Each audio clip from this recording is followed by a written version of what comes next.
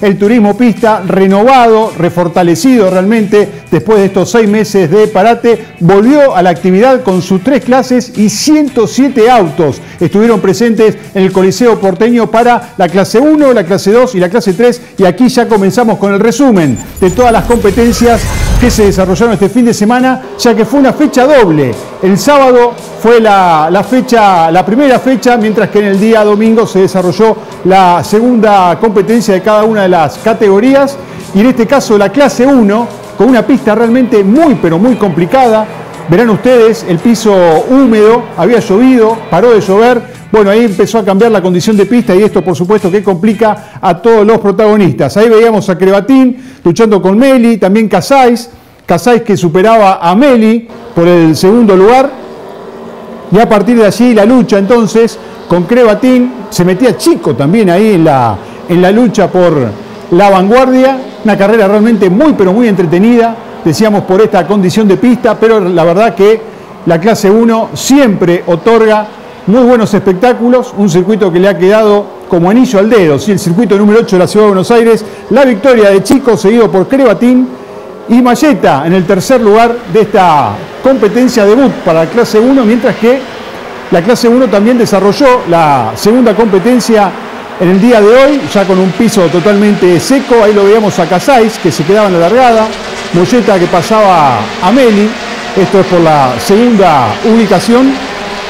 Mientras que, bueno, el pelotón estaba conformado por Crebatín, Molleta, Meli, Arguizaín, que de esta manera, bueno, trataban de avanzar todos, sí, para buscar una victoria que parecía que estaba al alcance de la mano, ¿eh? por lo menos de todos estos pilotos que estábamos mencionando porque bueno, los sobrepasos eran permanentes y la verdad que el espectáculo estaba asegurado, ¿sí? Con estos protagonistas, con la categoría menor del turismo pista, en un circuito que decíamos realmente era propicio, ¿sí? Para este tipo de vehículos, los de menor potencia.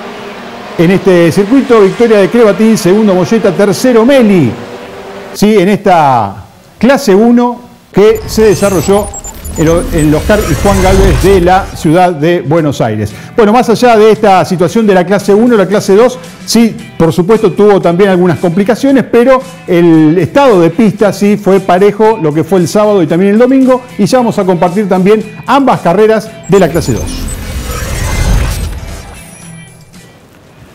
Bueno, la clase 2 que lo tenía a Marcelo Bugliotti, ¿sí? en el regreso del automovilismo, por lo menos en el turismo pista, invitado por su hijo, ¿sí? que bueno, quería correr junto con su padre un fin de semana muy especial. Tuvo que largar de los boxes en esta primera carrera Marcelo Bugliotti porque tenía problemas en el embrague. Adelante lo veíamos a Nico Ayestarán junto con Andrés, también a Vitar, Gaviglia, Tambucci, Elizalde. Ahí vemos esta situación cuando afuera se va a leche, también Aramburú, que toca con Leston. Pero bueno, Ayestarán que dominaba las circunstancias, mientras que Vitar cometía algunos errores, que después lo admitió este joven piloto, 16, años tiene nada más, este, este chico que realmente ha demostrado que realmente tiene un gran potencial, ha cometido errores y él lo admitió y eso es muy bueno en esta etapa de aprendizaje, pero parece que es un diamante en bruto, ¿eh?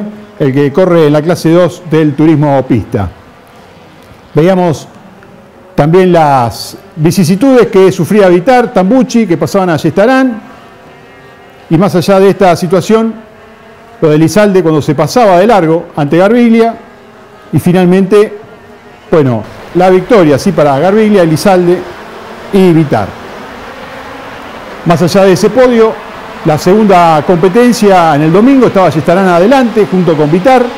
Andrés Garbiglia en la segunda línea de largada los dos de adelante que se molestan. Vamos a ver ese, toque. Ahí lo vemos, otra vez Vitar, protagonista de, este, de un incidente. Andrés que pasa adelante, Tambucci, Elizalde, Bayala.